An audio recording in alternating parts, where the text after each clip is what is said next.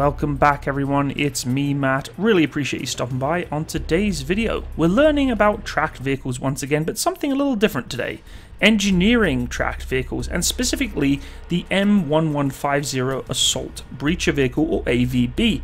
Now, I have a lot of respect for engineers. When I worked alongside them in the British Army as a tank mechanic, uh, they were launching some incredible pieces of equipment, including Titan and Trojan, bridge layers, and breaching vehicles of themselves. But this American vehicle is truly a vehicle to I guess, totally and utterly respect. It is providing so much capability for armoured battle groups of the United States, and it deserves a bit of spotlight. Before we go into discussing today's armoured fighting vehicle, I'd like to talk about my sponsor for today's video, which is World of Tanks. Now, some of you might be quite surprised, but I actually used to play World of Tanks when I first started my channel, and I thoroughly enjoyed it. I really do encourage you guys to go check out the game. It is a free-to-play tank arcade game which has a ton of vehicles in it, and I mean that in every sense of the word. There's a huge tank arsenal, tank destroyers, artillery, light, medium, and heavy tanks. How you play really is up to you, the way you go through your tech trees and the different countries that you can use. You can rush in guns blazing, ambush your opponents, sneaky tactics, hand back and take them out from afar. There's 550 different tanks and there's always a new way to play. Very enjoyable game. As I said, it is free to play, so you can go to the World of Tanks website, which I'll leave all the links in the description box below. It's free to win, meaning that skills win the battles for the most part, not the money. Um, you can join the you know online gaming community of millions of players. It's a huge community of World of Tanks. I'm sure many of you are watching this are probably already playing it, but this really reaches out to those people who haven't even tried it give it a go. It's got a lot of really fast-paced action. It's a, an addictive game for sure if you get into it. So now's a perfect time to get into the game, and if you are a new player, I've got a really good bit of news for you. There is an invite code that I have in the description box below saying as Fire Away, which is the code that you're going to use to get some cool little freebies and additional features for the game. It will contain the Matilda Black Prince Tier 5 tank, 7 days of World of Tanks premium access to your account, one garage slot, and 100% manned crew. You'll also get two rental tanks for 10 battles each, which is a Tiger 131 and the Sherman Firefly, which by the way is one of my favourite tanks of World War II. Now, if you do have interest in going to the website, please do so. The links are in the description box below, including the invite code. I encourage you to please go there. Make sure that if you are a new player, it is really only for you as the first time as you register on the Wargaming portal. So you need to use that invite link uh, with the invitation code and you'll be able to get some really cool, fun little features there that I just mentioned. So please, guys, go check it out at World of Tanks. So let's get back to talking about this beautiful engineering vehicle. The M1150 Assault Breacher Vehicle or AVB is probably one of the most wicked looking military vehicles in the world. The ABV operates as part of the Combined Arms Task Force and is assigned to be employed by combat engineers specifically. The ABV was developed to meet the operational requirements originally for the United States Marine Corps. It is also known as the Breacher or the Shredder. This combat engineering vehicle was specifically designed to clear pathways through minefields, creating safe lanes for other vehicles at the breach. It allows assault units to move rapidly through obstacles before enemy forces establish defences, but unfortunately at some times already inbound defences in place. First prototypes of the ABV were completed in 2002. The Breacher became operational in 2008, and in 2009 it saw combat in Afghanistan. The US Marine Corps ordered a total of 45 of these systems. The US Army, however, later on saw huge potential in this vehicle and actually ordered around 187 of these vehicles instead of the cancelled Grizzly. The Grizzly was a similar combat engineering vehicle but was cancelled in 2001 and never reached production. Maybe I'll do a video on it in the future. It's interesting to know that in the 1990s, the US Army decided it couldn't afford to continue developing the complicated, maintenance heavy vehicle of this purpose. The Grizzly program was cancelled in 2001 and therefore the prototype developed never really made it to any assembly lines. The US Marine Corps, however, persisted and funded its own development and testing of this vehicle. The main body of the final model of the Shredder was built by General Dynamics and the chassis was used from the M1A1 Abrams main battle tank. Pearson Engineering of the United Kingdom provided the specially designed plough and therefore the other mine clearing accessories to this vehicle. As you can see by just this simple bulldozer, simple little obstacles just like a berm or a hill of some kind can stop a tank in its tracks, literally. You'd be surprised at how much a berm can actually prevent a main battle tank like the Abrams progressing through the breaching point successfully.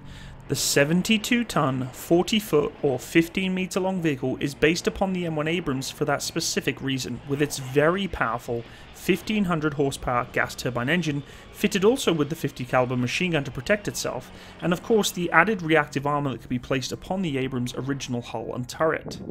The vehicle is also equipped with a front-mounted 15 foot or 4.5 meter long wide plow, supported by metallic skis that glide on the dirt allowing it to plow correctly, and is armed with nearly 7,000 pounds or 3,175 kilograms of explosives on its back deck. Shredder is equipped with the M58 Mine Clearing Line Charge or MICLIC as the main armament for breaching main minefields.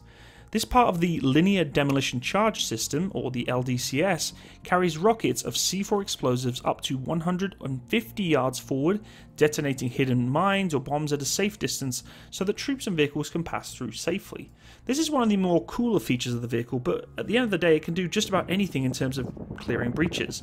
One of the main obstacles it cannot clear, though, is water. Now, as impressive that the rocket projected explosive line charge is, it really only provides that close in capability. It's actually a feature that is more likely not to be used than trying to use the more standardized mine plow systems. The reason for this is that once these weapons are deployed, it takes a long time to reload them and should only really be used on more emergency kind breaches. It is also effective against conventionally fused landmines when detonated and provides a large lane of 8 meters by 100 meters, which is significant for main battle groups to get through. Unfortunately not quite wide enough to allow more than one vehicle at a time, but does the job. The vehicle's main feature though is the fact that it can breach through just about any berm or land feature that it comes across. The HLA or High Lift adapters provide a huge increased approach angle to the ABV. This allows rapid fitting and removal of the full suite of ABV front end equipment and subsystems. Specifically for clearing minefields, the FWMP or full width mine plow can be swiftly installed at the front of the vehicle, which can then be rapidly replaced by the CDBB or combat dozer blades. That, in addition to clearing battlefield obstacles, can also be used to prepare fighting positions or knock down ones already in place. Another alternative installation at the front of the vehicle is the Pearson Engineering ROBS or Rapid Ordnance Removal Systems, or an SMP lane marking system. The plough mounted onto the front of the ABV lets it construct hasty earthworks for cover and to barrel through enemy obstacles. The lane marking system is actually basically a stake system that fires little stakes out the back of the vehicle in the lane marking system to allow you to know exactly where the tank needs to stay in. These markers are given little reflective, I guess, tape to allow them to be operated at night also. In terms of protecting itself, there isn't a huge amount of capability for defending itself, really, with small arms. For the most part, it has the crew of two that will only have their small arms upon them, and the 50 caliber BMG M2 machine gun mounted on top of the vehicle as purely a defensive armament. The gun can fire around 1000 to 1200 rounds per minute depending on the variant and an effective range of around 1800 meters, which provides somewhat of some defensive measures, but for the most part these vehicles are never going to be on their own, and supporting the main battle group, the Abrams main battle tank will always be giving it a little bit of support. One of the interesting main features of this vehicle that it was required for in combat was actually securing beachheads for the US Marine Corps. The vehicle weighs a whopping 72 tons, and as you can see, it's going to be quite the feat to move it from a landing craft to the beach. However, there is this capability done by the US Navy's amphibious haulers, the Landing Craft Air Cushion or LCAC, which is basically a gigantic hovercraft, and the Landing Craft Utility or LCU. The LCU boat can accommodate the mass and width of one of the brutish vehicles, the LCUs can also run ship-to-shore logistics from the well decks of the Gated Navy's amphibious assault ships, which can include transporting the Shredder. Although the US Marine Corps is slowly pivoting away from focusing so heavily on large-scale beach landing operations, being able to push very heavy combat vehicles ashore from over the horizon remains a critical capability and hence why this vehicle is still used today on breach clearings. Interestingly, the vehicles were never originally designed to be ABVs. The chassis for the ABVs were supplied from the Army surplus stocks of Abrams and refurbished to a common standard with the current M1A1 Abrams MBTs used by the US Marine Corps. The M1 Abrams is obviously powered by the 1500 horsepower Honeywell AGT 1500 gas turbine and a 6 speed 4 forward 2 reverse Allison X 1100 3B hydrokinetic automatic transmission, giving it a governed top speed of around 45 miles per hour or 62 kilometers an hour. On paved roads, that is. On road, it's pretty fast. Off road, being that it's so heavy and cumbersome, it can only go at 30 miles per hour or 48 kilometers an hour on cross country. The suspension of the ABV is composed on each side of 7 road wheels and 2 track return rollers on each side of the chassis. The drive sprocket is mounted at the rear and the idler at the front, just like the main battle tanks. Surprisingly, there are also robotic controlled ABVs, and there were some recent tests done that were supported by the robotic Polaris MRZR vehicles, capable of creating smoke screens, as well as suppression fire units in which a real situation could either be manned or unmanned. Now, a breach is one of the most complex maneuvers during any type of military operation because there are so many components to it. To put it lightly, every gun, every cannon, everything that shoots a missile or a bullet is going to be aimed at that breach if they know you're coming, and so for the crew inside the vehicle, the breach is literally the worst place on Earth. So, the Army and the Marines are looking at robotic systems to smash through the breach, which soldiers and manned vehicles can then flow through. It makes sense to protect the crew members that are actually operating the vehicle from distance, considering it is literally going to be the first thing everything is going to be firing at, which you'd be surprised at, thinking that normally the main battle tanks take majority of the brunt of the hit. Obstacles are always going to stop the battle group, and this is the thing that is going to push it out of the way.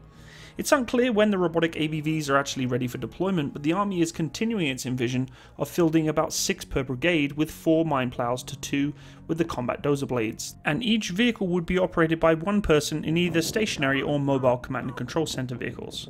However, some of the challenges for this kind of variant is the including of electronic countermeasures going against it, such as jamming technology that could be used to the advantage of the enemy to incapacitate these vehicles on the breach, making them just as much as an obstacle as they were before. There was also concerns about what it would do if it dies mid-breach and just loses connection, inadvertently becoming just the exact kind of obstacle it was meant to obliterate obliterate.